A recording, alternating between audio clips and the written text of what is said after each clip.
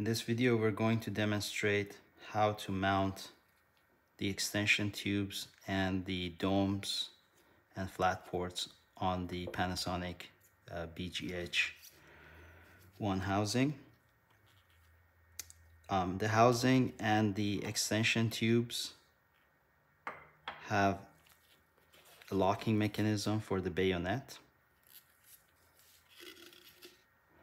There is a flange pattern on the housing bayonet and a flange pattern on the extension tubes and the ports. These need, these need to be aligned correctly and rotated in place in order to lock. To unlock the ports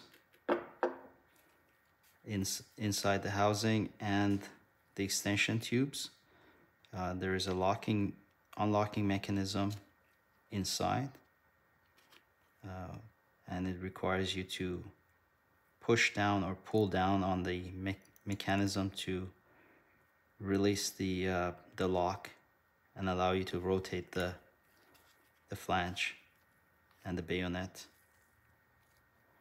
and unlock it from the from the housing. So in order to mount the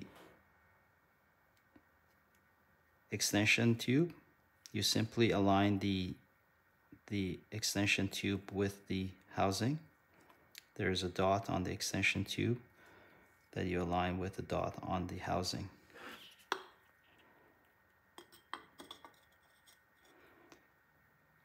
The best way to do this is simply to allow the extension tube or the port to sit inside the, the bayonet and rotate it until it moves down in place. Now, right now it's not locked, but it's aligned. The flanges, the flange patterns are aligned and you simply push down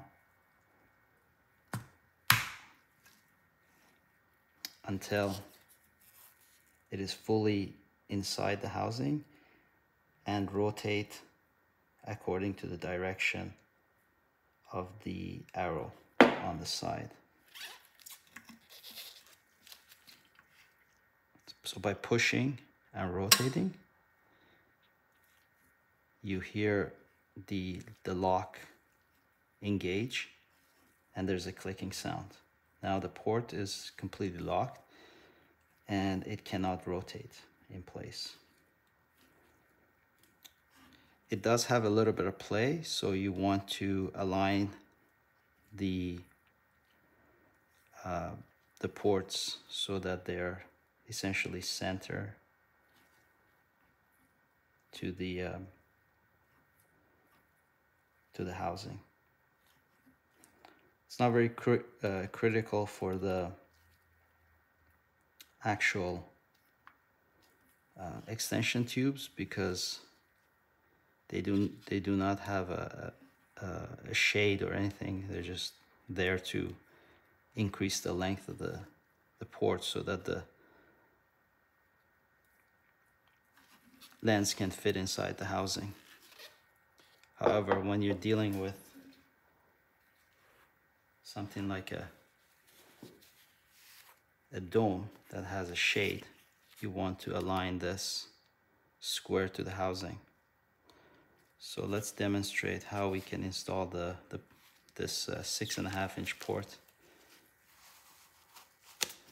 As you can see on the port itself, we have a key position that has to be aligned with the housing. So we simply align those two.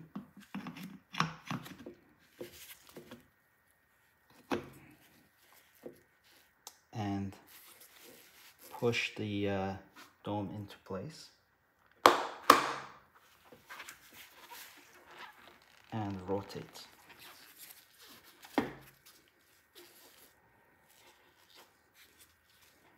until it locks.